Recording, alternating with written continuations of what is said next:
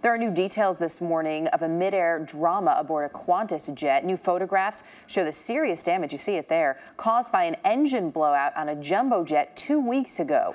Electric and hydraulic cables were slashed. As you see, that hole was punched in a wing. Two fuel tanks were punctured.